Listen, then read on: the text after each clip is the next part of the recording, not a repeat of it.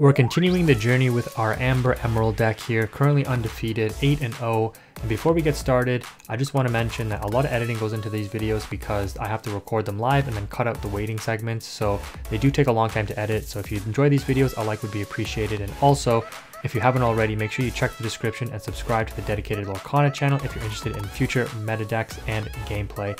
With that being said, let's go ahead and take a look at two matches. So in this first matchup here, our opening hand is actually quite decent after we do the Lorcana Mulligan. I don't remember what it's called, but the put back and the redraw. We're going second and we're up against an Amber deck, most likely the mirror match. And in the mirror match, whoever goes first has a huge advantage because they just get their high questers out earlier and you're dealing with that pressure early on. So we're already behind. The opponent starts off with a Stitch and a Lantern, which is going to make their characters cost one less when they exert it. Um, so we're going to actually mirror the exact same play.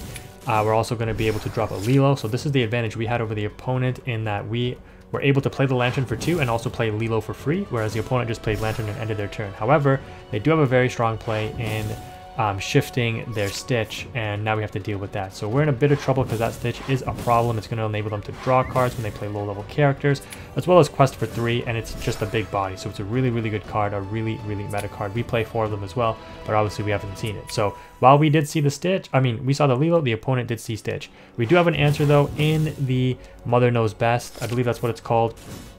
Um, and we bounce back the Stitch, which bounces back both the small and the big Stitch. The opponent then reveals to play a Lilo instead of trying to go for the Stitch overlay, which I don't think they could. Or actually, yeah, maybe they could because they can play Stitch and then ink a card and then overlay for the Stitch, right? Because it's shift 4 and they can reduce the cost by 1 with Lantern. So yeah, if they had 4 mana, they could play it for 3 and play the Stitch for 1, right? But they opt not to. They opt to play uh, the Lilo on board, which is fine. Um, they opt to take out our Lilo with their Stitch, giving it one damage, and then they quest with their own Lilo. They're trying to stay up with me now on, on, in terms of questing power, but we do have the setup with the Simba protection and the Lilo, and with our own um, 1 2 2 drop, the Duke, we're going to take out their Lilo as well. So we're ahead in terms of questing power, but obviously we're way behind in, in card advantage. We do have the double lantern setup though, which you're going to see on 3 ink only.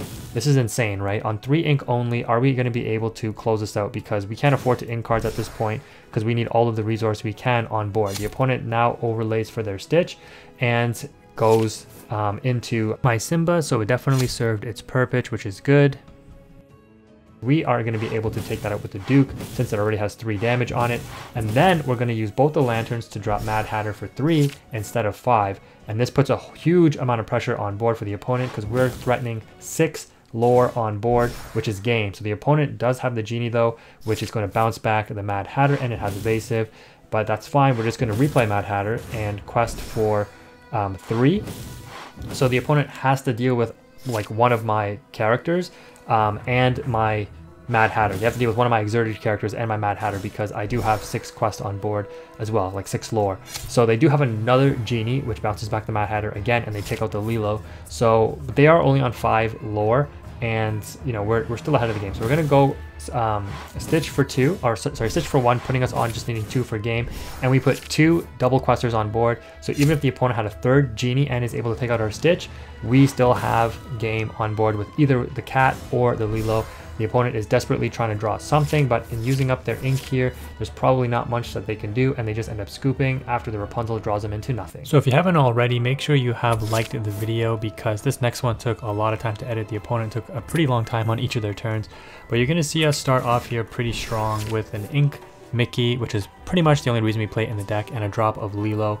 The opponent starts off with an inked Maleficent and befuddles the Lilo back to my hand, which is totally fine. It just saves them a turn of getting quested for 2 on because we're going to play Lantern on turn 2 and dropping the Lilo for free with the Lantern's ability to reduce the cost of a character by 1. You can see the timer came up for them there, but they eventually end up dropping on uh, dropping the broom uh, and uh, passing turn uh, after deciding to put Befuddle back with the broom. So we draw uh, Finn for turn, which is actually really good because it's going to put a lot of pressure on the opponent to out it and get the card advantage back from me just a little bit in forcing them to discard a card if they challenge. but seeing that they're on purple, if they're on steel as well, which, you know, obviously by now I know, they're going to be able to out these cards with Fire the Cannons, grab your swords, and that can be a problem. We do, however, have the Simba protection for the Lilo, which is great. Uh, the opponent ends up inking a friends on the other side, which is like Pot of Greed, and they do indeed have Smash, which isn't great for us because now the Broom can take out Lilo, and this is a bad matchup for us, right? Steel is a bad matchup for this deck, so this is another instance of where I face up against a uh, like a Steel deck that has the very low damaging, uh, cheap costing cards, which really outs my board, and that essentially counters the strategy. So they do have another smash, and I'm like, oh man, that's rough. They get rid of my Hans, which is a three quester, and then they opt to challenge with the broom. So this completely wipes my board. Now the card advantage is four to one in hand.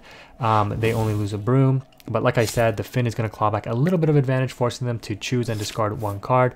We do draw Duke, um, and unfortunately we have to ink it. It would have been nice to not have to ink it and just play the Stitch and then play the Duke to draw one off of Stitch, but it's fine. We do get our Stitch on board. The opponent ends up inking a Captain Hook and dropping a Challenger Jafar, so at this point I can't risk questing with the Stitch, but I will exert the Duke to draw one when I play it off of the Stitch's ability. And if they want to challenge the Duke, that's fine for me because then I can take out the Jafar where it won't get Challenger if it's exerted with my own Stitch. They drop a Magic Mirror and I'm like, okay, they are obviously struggling for playable high high costing cards. We're both on 5 ink, but I have double Genie and with the Lantern, thankfully, I can reduce the cost of Genie from 6 to 5, drop it and put the Jafar back. They opt to play a Friend on the other side, and drop a Prince Eric because that's all they can really do. They opt not to ink their Jafar there, so they're staying on 5 ink. And I'm like, well, at this point, since I'm going to go up to like 14 lore, I will just go ahead and drop another Genie and put the Challenger Eric back to your hand so that you can't take out my Duke uh, or put damage on my Stitch. And I'm just going to pass on this because I'm going to put, like, even if you have Grab Your Swords, it's not going to be enough to out my whole board. And sure enough, they do have Grab Your Swords, which only deals with the Duke. Um, and then they have no more ink that is playable. They're going to drop a Jafar and then just pass turn. And at this point, I don't even need to play anything. We're just able to quest for games, winning 20 to 0, showing the power of this deck. Make sure you're subscribed if you haven't already. Link to the dedicated Lorcana channel is in the description.